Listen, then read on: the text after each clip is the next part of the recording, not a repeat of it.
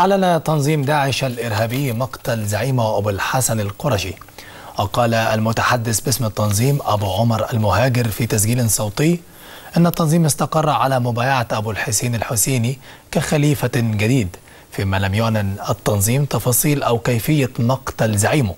وتولى أبو الحسن قيادة التنظيم الإرهابي بعد مقتل زعيمه السابق أبو إبراهيم القرشي مع عملية أمنية أمريكية على الأراضي السورية في 3 فبراير الماضي. وخسر داعش خلال العامين الأخيرين أبرز قياداته من بينهم زعيم التنظيم أبو بكر البغدادي الذي قتل في عملية عسكرية أمريكية شمالي سوريا عام 2019